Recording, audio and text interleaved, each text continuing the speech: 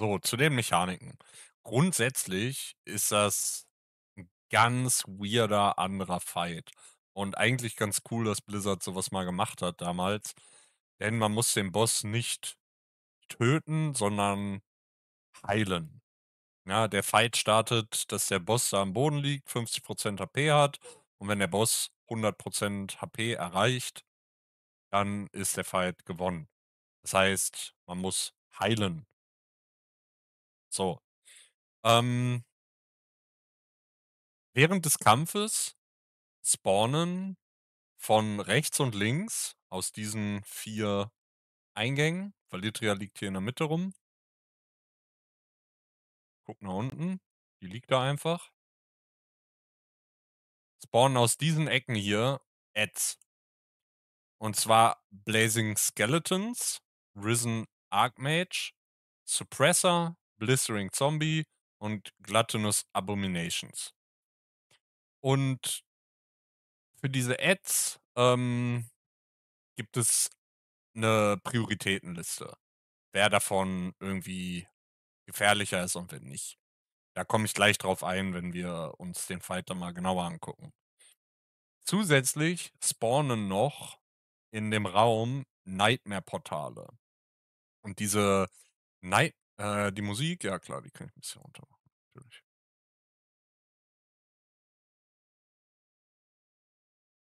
So besser? Ansonsten schreibt gleich noch mal. Ähm die Nightmare-Portale, die spawnen rund um den Boss herum und Heiler können da reingehen und dann kommen die in so 'ne 2. Ebene, in so 'n Albtraum-Ebene. Und dort fliegen so Kügelchen rum und die können die einsammeln und wenn sie die einsammeln, kriegen sie 'n Buff, der einmal die Heilung erhöht, jeweils um 10 % und dann noch die Mana-Regeneration erhöht und so weiter. Im heroischen Modus macht das aber auch Schaden. Das heißt, wenn du so 'n Orb einsammelst, kriegst du Schaden. Und viel mehr passiert in diesem Fight tatsächlich auch nicht so. Und jetzt gehe ich mal drauf ein, was genau passiert und wie man das am besten hinkriegt. Und es gibt auch 'n ziemlich kranken Cheese, den man, äh, machen kann, was den Fight, äh, sehr trivial macht. So, ähm der Raid grundsätzlich teilt sich mehr oder weniger in 2 Gruppen auf oder 3 Grüppchen. Eine Gruppe steht hier auf der rechten Seite mit einem Tank, 'n paar Melee-DDs und 'n paar Range-DDs. Ähm, äh, ja, Papanapo ist, äh, aktuell kannst dich einfach bewerben bei uns. Und auf der anderen Seite steht noch 'n Tank mit 'n Grüppchen DDs und 'n paar Range-DDs. Und dann habt ihr Heiler, die stehen in der Regel hier in der Mitte. So, das ist so die grobe Aufteilung. Das heißt, ihr müsst für euren Raid am besten in so 'nem Spreadsheet ich meine, ähm, ich kann sonst einfach mal kurz zeigen, wie wir das haben, weil zusätzlich zu den ähm, zusätzlich zu den Notes, äh, die wir haben, haben wir halt 'n Spreadsheet, dass ich nicht die Aufteilung und so in die Notes reinschreiben muss. In die Notes kommen halt die Cooldowns. Und ja, hier könnt ihr dann, ähm, Grüppchen einfach drin einteilen. Ja, da machen wir noch 'n Tab hin, Gruppe links, Gruppe rechts und gut ist. So. Damit jeder weiß: „Okay, ich bin auf der linken Seite, ich bin auf der rechten Seite“ und so weiter. Ähm von diesen Seiten aus kommen verschiedene Adds. Und zwar, ich glaube, das waren 5 an der Zahl, ne? 1, 2, 3, 4, 5, ja. Und dann machen wir hier einfach mal 1, 2, 3, 4, 5. Es gibt 'ne Priorität. Ähm, ja, das Sheet hat, äh, einer unserer Offis gebaut, ja. Es gibt 'ne Priorität, wie man diese Adds tötet, in welcher Reihenfolge. Weil die kommen die ganze Zeit hier so rein und manche sind gefährlicher als andere und manche müssen schnell getötet werden. Die oberste Priorität hat immer das Blazing Skeleton. Das ist immer an oberster Stelle. Wenn das spawnt, muss die Seite, wo ihr eingeteilt seid, sofort da drauf gehen. Denn A, macht der so 'n Fireball, der ist nicht ganz so wild, aber dieses Lay Waste deals moderate fire damage to all players in the room every 2 seconds for 12 seconds. Und dieses moderate würde ich mal in heavy austauschen. Wenn das ist 'n Cast, den fängt der an und dann kanalisiert er den für 12 Sekunden und den kann man auch nicht kicken. Und das macht richtig viel Schaden, also wirklich richtig viel Schaden. Ähm, deswegen müssen die immer zuerst umgefokust werden.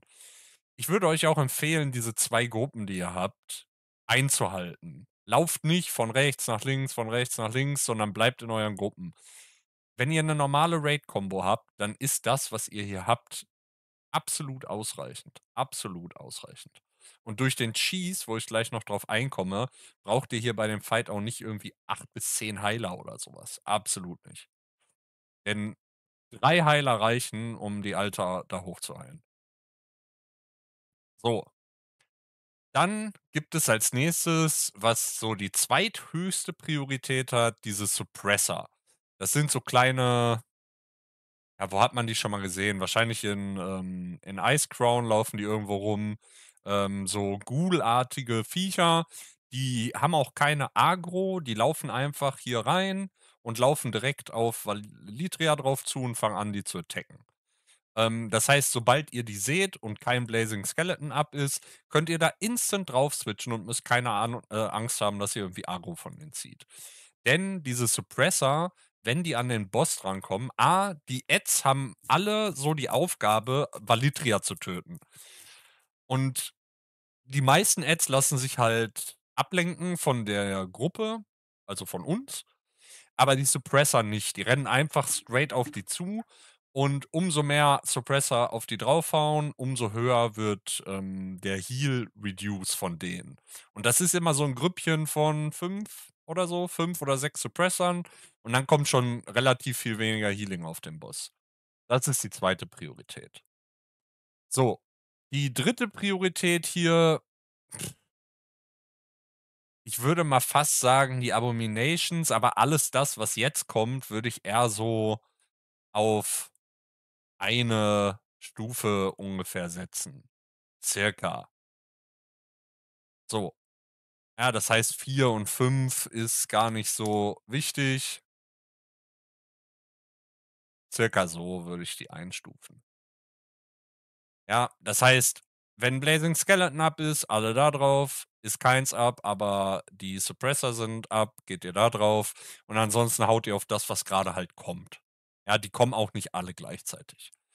Ähm, einmal zu den Adds. Wir haben so 'ne Abomination, die sieht auch genauso aus wie so 'n Patchwork und diese Abomination, die hat einmal 'n kleinen AOE, der Schaden macht auf alle in der Umgebung. Ähm, Nature Resi Totem hilft übrigens bei dem Fight, weil einige Sachen Nature Schaden machen. Feuer Resi hilft durch wegen den, ähm, Blazing Skeletons und Frost Resi hilft auch, äh, wegen den, äh, Risen Archmages, wo ich gleich drauf einkomme äh, eingehe. So, grundsätzlich ist das aber alles nicht so ultra wild, was sie macht.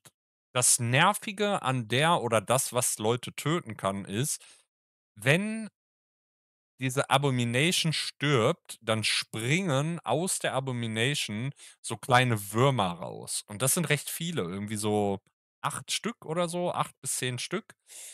Und die fangen die hauen instant auf die Leute drauf, die da sind und die machen natürlich in der großen Anzahl auch relativ viel Schaden. Eure Tanks also ich als Tank es ist schwierig, wenn ich nicht grade 'n Zapper oder so habe, auf 8 Mobs instant schnell die Agro zu bekommen. Ähm, was da natürlich hilft, ist, äh, wenn auf jeder Seite zum Beispiel 'n Schurke ist, der genau dafür Tricks bereithält, ja? Ähm, dann gibt es noch die Blistering Zombies. Das sind ja, so Adds wie bei, ähm wie beim 2. Boss Lazy Death Whisper, wenn da eins der Frantics sich verwandelt, so sehen die auch aus.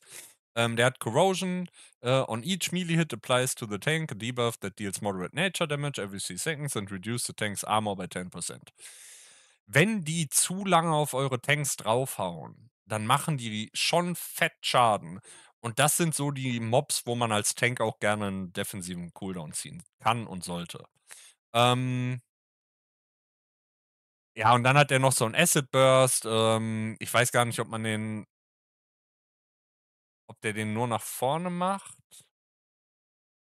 Bin ich mir nicht sicher, ja?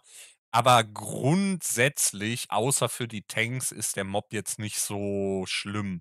Wenn grade nichts anderes up ist, dann können ihr Tanks den auch einfach 'n bisschen kiten oder als Hunter kann man auch sehr gut den einfach taunten und 'n bisschen kiten, damit der nicht unbedingt auf irgendjemanden draufhaut.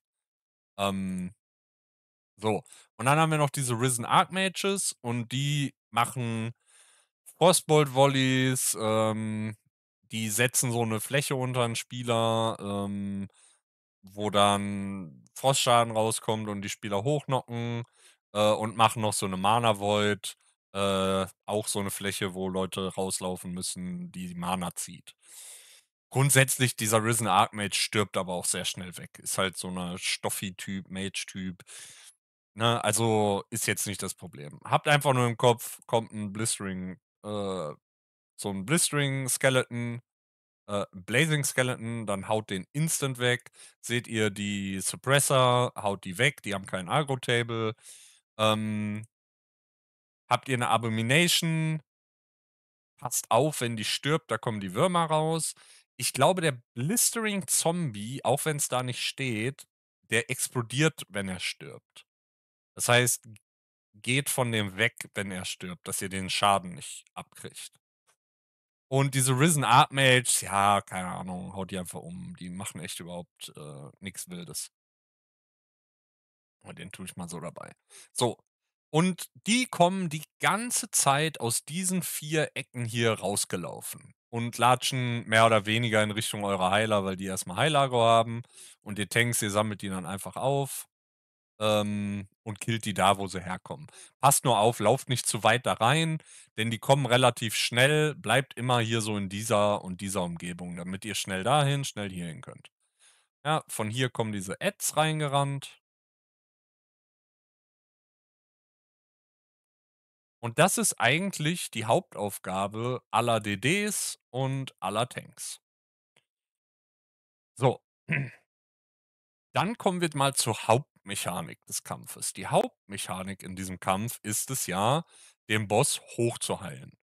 Und der Boss startet mit 50 % HP. Und ich bin mir jetzt grade nicht sicher, wie viel man hochheilen muss, aber es sind 'n paar Millionen, die man rein heilen muss. Also, ist schon 'ne Menge. Wir brauchen für diesen Fight oder früher wurde für diesen Fight einfach viel mehr Healer eingepackt. Normalerweise laufen wir mit 5 Heilern rum und hier wurden dann einfach so 8, 9 Heiler eingepackt, damit dieser Fight halt schneller kaputtgeht. Mehr DPS, Boss wird schneller gekillt, mehr HPS, Boss wird schneller hochgeheilt und ne, so kann man den Fight abkürzen. Wir brauchen ja dauerhaft Heiler hier draußen für und diese Heiler können auch nicht mit ins Portal. Denn alle 30 Sekunden circa spawnen hier haben wir die hier irgendwo, Portale? Nightmare-Portale. So, und diese Portale, die spawnen hier so ringsrum um den Boss. Ich kann euch jetzt nicht sagen, wie viele es genau sind, aber es sind schon 'n paar Portale. So, wahrscheinlich irgendwie so 3 überall. Keine Ahnung. Ungefähr so sieht das Ganze aus, ja? Jetzt nagelt mich nicht drauf fest, wie viele das sind. Ich habe sie nicht nachgezählt. Wenn die Portale spawnen, dann können Healer zum Portal laufen, draufklicken und dann landen sie in diesem Nightmare Realm. Und dort können die fliegen. Ja, da fliegen die durch die Luft. Und überall hier oben in der Luft schweben dann so kleine Kugeln rum. Da wir ja nicht alle Heiler da reinschicken können, da wir ja Heiler draußen brauchen, machen wir quasi so 'ne kleine Heiler-SEK-Truppe, die da reingeht und sich den Buff holt. Denn die Heiler, die sich diese Buffs holen, die heilen natürlich viel, viel mehr und sind auch dafür zuständig, Valitria zu heilen und nicht den Raid. So, und wir haben ja vorher gesagt ich mache die hier mal weg dass man so von früher noch kannte, dass man halt einfach mehr Heiler reingebracht hat. Nehmen wir jetzt einfach mal unser sch klassisches Heal-Setup. 2 Palas, 1 Disci, ein Chami und 'n Doodoo-Healer. So, das ist das klassische Heal-Setup, was man hier so hat. Ähm wenn ihr aussuchen müsst, welcher Heiler ihr draußen lasst, dann lasst immer den Disci draußen. Denn Schilde auf die Alte bringen gar nix. Aber 'n Disci kann sehr gut sehr viele Leute im Raid heilen. Als 2. würde ich noch weil ich würde e Minimum 2 Heiler draußen lassen. Ich würde dann den Chami noch draußen lassen, ähm und dann würde ich mehr oder weniger die 3 hier reinschicken. So, jetzt kommt's aber. Paladine sind extrem stark, was Healing auf Valitrya angeht. Denn auf dem Boss kann man Beacon setzen. Und Beacon funktioniert ja so, das wird auf einen Spieler oder auf auf die draufgesetzt, dann heilt man jemand anderes und die Heilung, die man auf den anderen erzeugt, kriegt der Beacon auch mit ab. Das heißt, wird dupliziert. So. Wir machen es so, dass wir für diesen Fight unseren Schamanenheiler quasi der hat einen Chami und 'n Pala, dass wir unseren Schamanenheiler auf seinen Paladin schicken, um 'n 3. Paladin zu bekommen. Wenn ihr das nicht habt, halb so wild, dann steckt irgendjemand anderen mit rein. Doodoo-Heal oder Sonstiges, kackegal. Wir machen's auch so, dass unser Ele-Chami auf Heal-Chami geht bei dem Fight. Ähm, das heißt, wir haben weiterhin 'n Chami im Raid, aber einen Pala mehr. Und dann haben wir ja noch unseren Doodoo-Heal und den lassen wir auch einfach mit draußen, weil den brauchen wir nicht drinnen, wenn wir 3 Palas haben. Wenn ihr nur 2 Palas habt, dann könnt ihr da gerne den Doodoo mit reinschicken und wenn ihr dann noch irgendwie 'ne Eule habt oder keine Ahnung was oder euer Shadow, der auf Holy specken kann, dann lasst den auf Holy specken und packt den da noch mit in diese Gruppe rein, ja? Denn ich würde fast sagen, dass ein Pala so viel heilt wie ein Doodoo und ein Holy Priest zusammen. Ja, also wie ihr das dann macht, das müsst ihr selbst für euch entscheiden. Ähm aber entweder schickt ihr 3 Palas rein oder 4 andere. Ja, aber auf jeden Fall eure Paladine. So. Warum sind Paladine denn so übertrieben stark daran? Und jetzt kommt der Cheese. Beacon heilt ja ver verdoppelt ja quasi den Heal, den man macht. Und es gibt Talente, zum Beispiel von 'nem Paladin die kann ich euch kurz zeigen, die die Heilung, die man bekommt, erhöhen. Und der Paladin hat davon 'n Talent zum Beispiel, was die Heilung um 5 % erhöht. Das heißt, packt der Paladin das Beacon auf 'n Boss und heilt sich selber, heilt er einmal natürlich die Prozente, die er einsammelt in diesen Portalen und das sind in der Regel so 4, 5 von diesen Orbs. Also 40 % mehr plus noch mal 5 %. So. Aber jetzt kommt der Cheese. Wenn ihr 'n Hunter im Raid habt, dann gibt's da 'ne Möglichkeit, die erhaltene Heilung von seinem Pet um 50 % zu erhöhen. 50. Und zwar ist das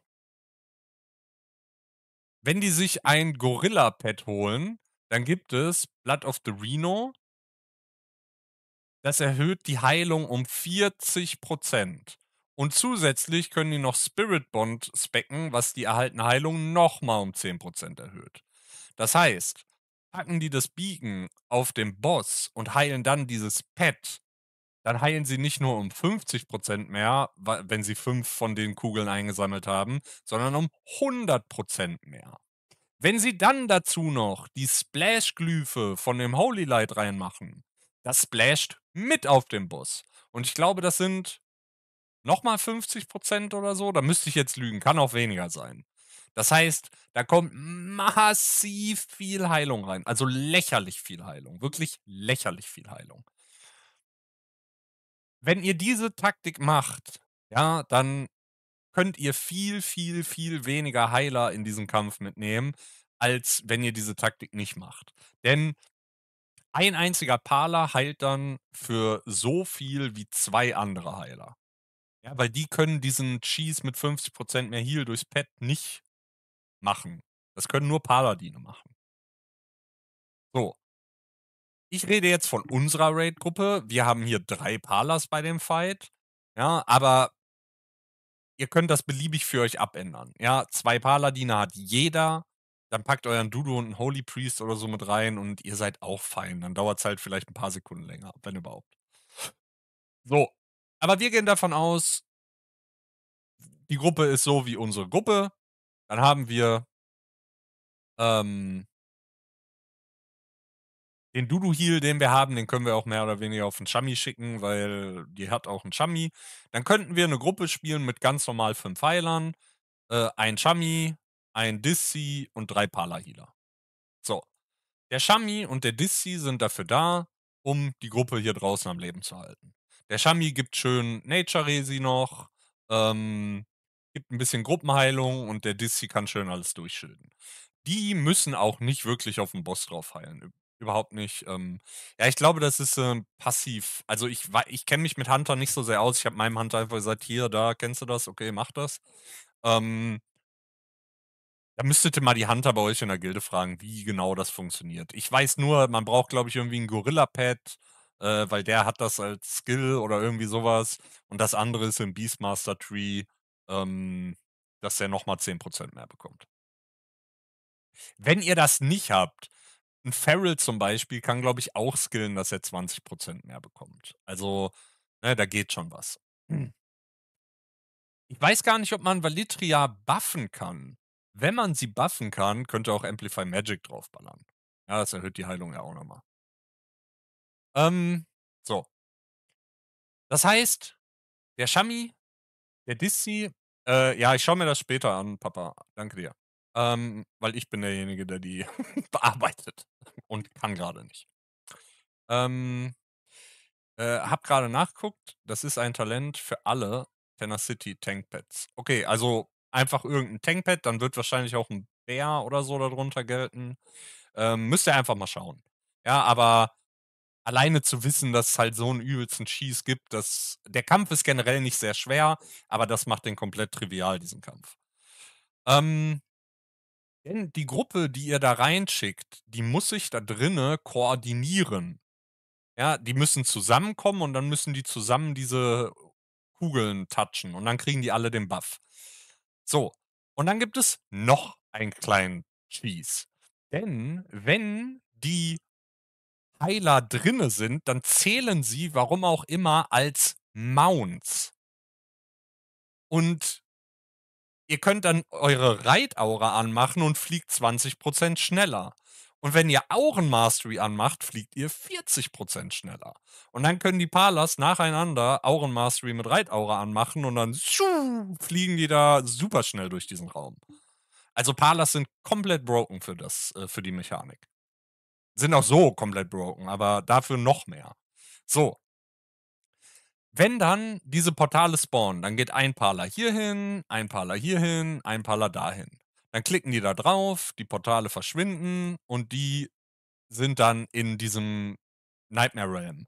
Gebt vorher einen eurer Parlers, der den Weg angibt, Mark, dann treffen die sich da drinnen und dann fliegen die hier zur Orb, da zur Orb, da zur Orb, da zur Orb. Immer so gegen den Uhrzeigersinn. Und irgendwann fallen sie dann raus, landen hier unten, haben das Beacon aufm Boss und pumpen volle Pulle Heal in das Pad rein. Und dann kommen wieder neue Portale. Dann geht wieder ein Parler hierhin, ein Parler dahin, der Parler hier geht dahin, gehen wieder in die Portale rein, die Portale verschwinden. Die treffen sich im Nightmare-Dingen wieder, fliegen zum nächsten, fliegen zum nächsten, fliegen zum nächsten, fallen wieder raus und rinse and repeat. Immer wiederholen, bis der Boss hochgeheilt ist. Und in der Zeit kümmern sich hier draußen die beiden Gruppen um diese Adds. Ich habe hier ein Video von Katza Gaming. Könnt ihr gerne mal 'n Like irgendwie dalassen, ähm, wo man das Ganze einmal ganz gut sieht. Ja, das da sind diese roten Orbs, auf Normal sind die grün, soweit ich weiß. Da stellen die sich auf dann gehen die Portale auf, die klicken drauf und dann kommen die in diesen Nightmare Realm und hier fliegt die Alte rum. Jetzt treffen die sich an so 'm Orb, kicken das, bumm. Und dann kriegen die diesen Debuff. Der hält, glaube ich, für 35 Sekunden und jeder jeder Debuff oder irgendwie so er erhöht die Heilung um 10 %. So, bumm, zum nächsten. Ja, ist manchmal 'n bisschen schwerer, dass die auslösen, zum nächsten. Ja, und man sieht, Reitaura ist an, die haben auch grade Auren-Mastery geschmissen, dann fliegen die da super schnell rum. Zum nächsten. So, dann fallen sie raus. Ich weiß gar nicht, ob die hier diesen Cheese tatsächlich machen. Äh, die heilen sich einfach selber. Ähm, wenn ihr diesen Cheese macht, dann würdet könntet ihr diese Heilung hier um 50 % erhöhen. Dann würde die Heilung jetzt schon 45.000 machen. Und die Zahl hier neben, das ist dieser Splash Damage vom Holy Light. Und ihr seht gleich, dass diese Heilung relativ schnell sich, äh, steigert. So, jetzt kommen die nächsten Portale. Da sind immer die Punkte, wo diese Portale kommen. Man stellt sich direkt schon wieder da auf, früh genug. Heilt in den Boss rein, geht wieder in die Portale, folgt einfach immer dem Leader. So, und wenn ihr das nur mit 3 Paladinen macht, ähm, und diesen Cheese benutzt, 3 Leute hier drin zu koordinieren und vor allen Dingen draußen an die Portale zu schicken, ist wesentlich einfacher als irgendwie 5, 6 Heiler da reinzuschicken. Denn bei 5, 6 Heilern dauert's auch viel, viel länger, bis die hier sich dann getroffen haben und, und, und. Ähm und vor allen Dingen hat man auch dann noch mal viel mehr DDs für draußen. Ja, das heißt, draußen wird auch einfacher. So, die poppen die Dinger, fallen runter. Wenn ihr auf HC hier drin rumfliegt und die Dinger poppt, dann kriegt ihr Schaden. Da müsst ihr 'n bisschen aufpassen, aber heilt euch dann selber. So, dann kommt man wieder raus, Beacon ist aktiviert. Ja, und packt hier auf das, was die heilen, einfach noch mal 50 % obendrauf. Ne, weil man ja, und nicht 50, 45, weil die haben ja selber auch 5 %. Dann kommen wieder die Portale und so weiter und so fort. Also und das ist quasi der Fight aus Heiler-Sicht. Und das wär's im Grunde genommen auch schon zu dem Boss. Ihr lauft von hier unten rein, äh, hier stehen 4 Adds um die rum, die müsst ihr am Anfang töten, die können mehr oder weniger gar nichts. Ähm teilt eure Navy Seal Heilertruppe ein, die da hochgeht. Gebt einen davon Mark, dass der der Leader ist, dass sich die Leute unten darin treffen. Benutzt in dieser Albtraumphase, ähm, die Reitaura, benutzt Auren-Mastery mit Reitaura, dann fliegt ihr noch mal doppelt so schnell. Ähm, teilt eure Gruppen draußen in 2 gleichwertige Gruppen auf, wenn's geht, auf beider Seiten einen, äh, Schurken hinstellen. Killt die blazigen Skeletons, äh, killt die Gluttons, passt auf, wenn die Abomination stirbt und die die kleinen Würmer spawnt. Passt auf, wenn, äh, der Zombie stirbt, äh, der Blistering Zombie, dass ihr früh genug weggeht, denn die explodieren. Ähm stellt Nature-Resi hin, habt 'ne Feuer-Resi-Aura an, äh, habt 'ne Frost-Resi-Aura an und dann ist das mehr oder weniger 'n Selbstläufer. Und selbst wenn ihr jetzt mehr Heiler habt oder ne, ist alles in Ordnung. Ihr könnt hier auch noch, wenn ihr 'n Dudu dabei habt, lasst den Dudu da draußen stehen. Wenn ihr hier nicht 3 Palas habt, dann nehmt halt 2 Palas und 'n anderen Heiler oder andere 2 Heiler. Das ist alles völlig in Ordnung. Der Boss ist nicht der Boss, der euch irgendwie lange aufhalten wird.